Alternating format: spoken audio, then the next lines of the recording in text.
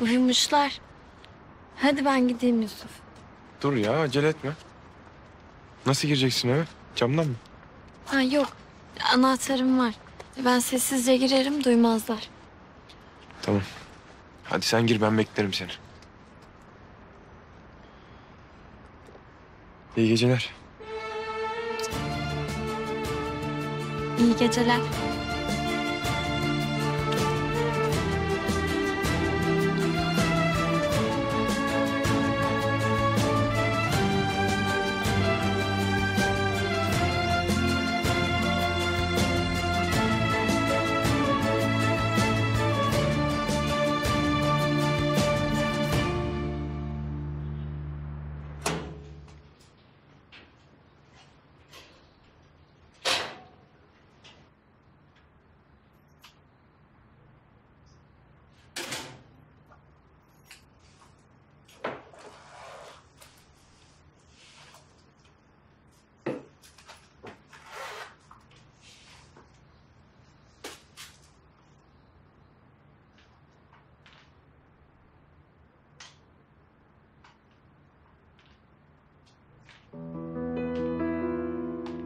Dayı sen uyumadın mı?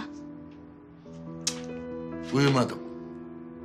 Daha doğrusu sen uyutmadın. Ne yapıyorsun kızım sen gece vakti sokaklarda? He?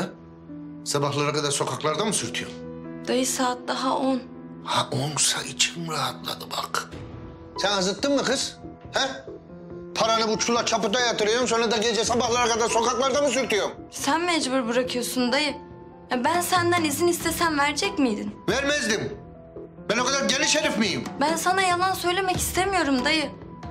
Ama merak etme artık öyle kaçmayacağım evden. Aferin kaçmayacağım. Çünkü pencereden değil direkt kapıdan çıkacağım. Sen dayına isyan mı ediyorsun lan? Ya dayı isyan ettiğim falan yok. Ben çalışıyorum, paramı kazanıyorum. Hayatım boyunca hep çalıştım, gezmek benim de hakkım. Ben bir günden bir güne senin lafının üstüne çıktım mı? Dayı burası bozuluk değil. Ben de Meryem değilim artık anla bunu ne olursun.